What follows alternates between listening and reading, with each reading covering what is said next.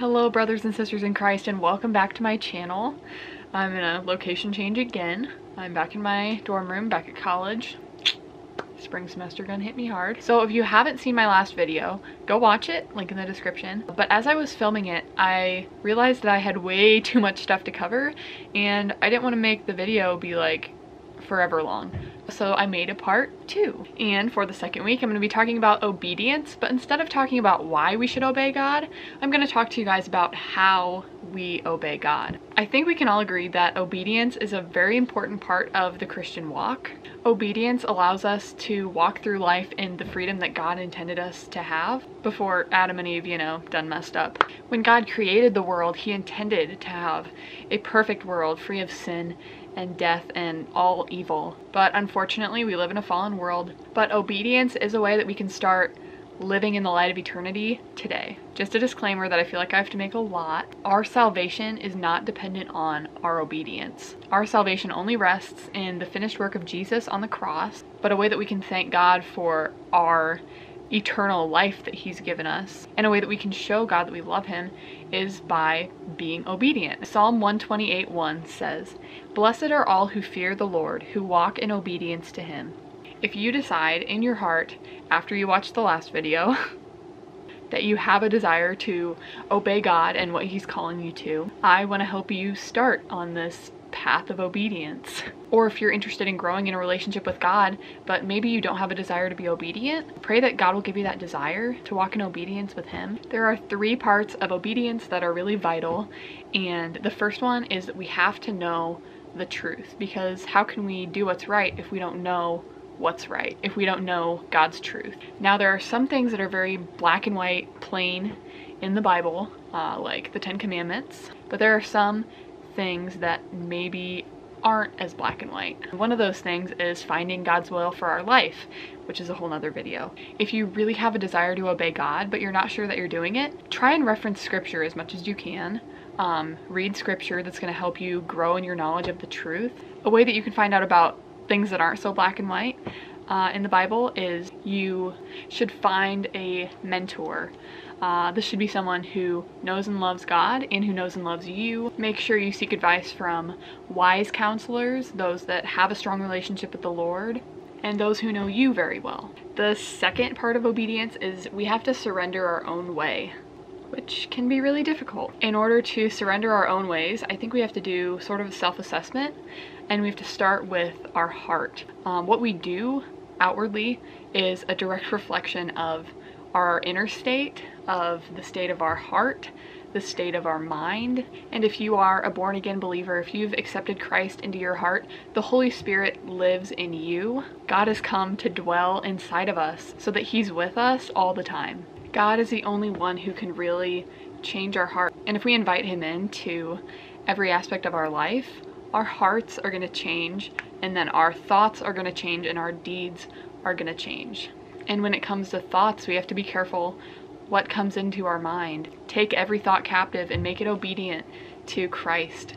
If we want our thoughts to be pure, we can't fill our minds with things that aren't. So we have to constantly watch the kind of music we're listening to, the kind of media we're consuming in general, the type of people that we choose to surround ourselves with. Philippians 4 8 says, Finally, brothers and sisters, whatever is true, whatever is noble, whatever is right, whatever is pure, whatever is lovely, whatever is admirable, if anything is excellent or praiseworthy, think about such things. By filling our minds with that, we're not going to have room for any of the other garbage. And when we invite God into our heart, when we are careful about what we choose to fill our minds with, our outer state is going to change and we're going to better reflect the light of Christ. Our hearts are going to have more and more of a desire to obey Him and to follow Him. The third and final part of how to live an obedient life unto Christ is by remembering who God is.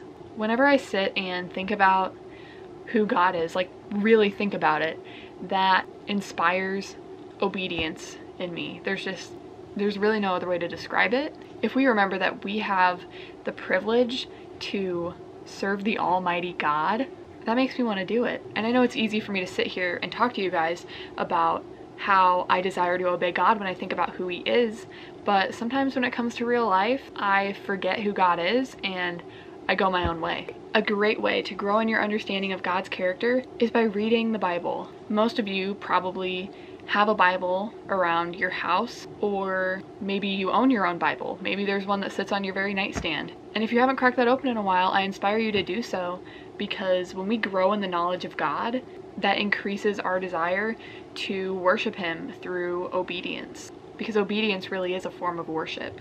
And if you don't have a Bible, but you have a phone, there's lots of good free Bible apps out there. 1 John 2 15 through 17 says, And this is love, that we walk in obedience to His commands. As you have heard from the beginning, His command is that you walk in love. All these things are interlinked. If we obey God, we show God that we love Him, and when we obey God, we also show others that we love them. There are many things in this world that I know many people obey instead of obeying God. But Romans 6:16 says, "Don't you know that when you offer yourselves to someone as obedient slaves, you are slaves of the one you obey, whether you're slaves to sin, which leads to death, or a slave to obedience, which leads to righteousness. If we aren't obedient slaves to God, then we're obedient slaves to sin and to the evil ways of this world. 1 John 2 15 through 17 says,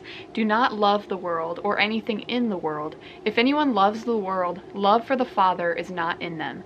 For everything in the world, the lust of the flesh, the lust of the eyes, and the pride of life, comes not from the Father, but from the world. The world and its desires pass away, but whoever does the will of God lives forever. I'm going to tell you guys from personal experience because I've chosen disobedience over obedience so many times because I'm human. Uh, God expects me to fail because I'm not perfect and I can't be. But I'm telling you guys right now, every time that I disobeyed God or was delayed even in my obedience of Him, it didn't satisfy me. The only promises that we can trust are the promises of God. The promises of the world are so empty. Anything that sin promises you, if it promises to bring you satisfaction, that's false because the only true satisfaction is found in the Lord. If it promises to bring you wealth, it might bring you earthly wealth, but what kind of wealth really matters? is if we have wealth in the Lord. Sin might promise you freedom if you look at Christianity as just a list of rules, but the only freedom comes from Christ and comes from following in the ways of the Lord. As sons and daughters of God, we have the authority to overcome any temptation. We can obey at any time that we want to. We worship the Almighty God of the universe, and He is the only one that can satisfy. And I'm going to end with a little bit of a challenge for you. This is a quote from Del Fehsenfeld Jr. Probably not right. He says, partial obedience, delayed obedience, and surface obedience to impress others are not acceptable to God. He is looking for men and women who will respond with instant, complete, wholehearted, and joyous obedience each time he speaks. That is so convicting. If you desire to obey God, pray and ask that He'll give you the guidance to be able to do so. And I hope that I shared some tips today with you that will be able to help you start this journey to obedience. My song for you guys this week is Trust and Obey by Big Daddy Weave. It's a bit of a modern rendition on the classic hymn, and I think that the words really hit the nail on the head with this message that I brought you guys today. Thank you guys so much for watching. Uh, please give this a thumbs up if you like today's video. Leave me a comment if you have any questions. Click subscribe. Follow me on Instagram. I'll put the scriptures that I used today also in the description. And remember to always choose joy.